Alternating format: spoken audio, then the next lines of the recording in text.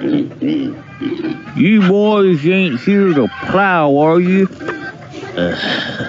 No? Cause I don't want no one around who can't pull some teeth. Uh, I can pull some teeth, sir. You ever slop a hog? Beavis slops his hog all the time. Okay then. Quit trying to choke that dude's chicken. Oh yeah.